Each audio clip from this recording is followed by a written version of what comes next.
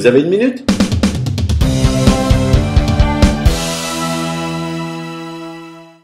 La tablette, comme l'iPad, est très utile en navigation. C'est un super outil. Le seul problème, c'est que ça craint l'eau, ça craint l'humidité. Il faut donc le protéger dans une pochette, comme nous avons ici aujourd'hui la pochette Armorix. On place l'iPad à l'intérieur, tout simplement dans la partie basse, et on vient refermer la pochette par-dessus.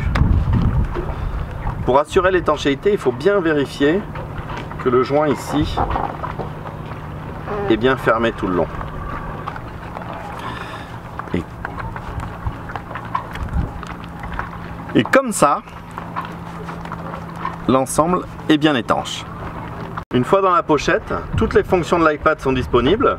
On peut l'allumer ici en haut, régler le volume sur le côté ou même le recharger sans avoir à sortir l'iPad de la pochette.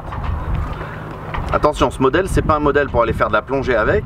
Faut pas jeter l'iPad euh, par-dessus bord. Par contre, s'il y a des vagues ou des embruns, il sera bien protégé.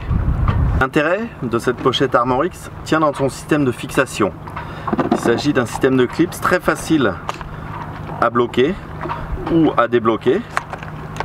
Et il y a toute une gamme d'accessoires, comme par exemple ici, j'ai une fixation pour accrocher sur une filière, un chandelier ou bien à la barre à roue, ou bien ici une traditionnelle fixation pour mettre ça avec une ventouse sur une cloison.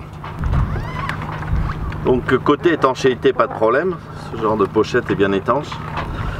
En revanche, comme toutes les pochettes étanches, on a toujours le problème quand c'est tout mouillé, le multi-touch ne fonctionne jamais très très bien.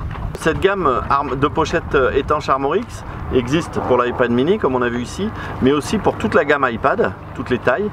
Et il existe un modèle dans lequel on peut aussi loger les différentes tablettes Android.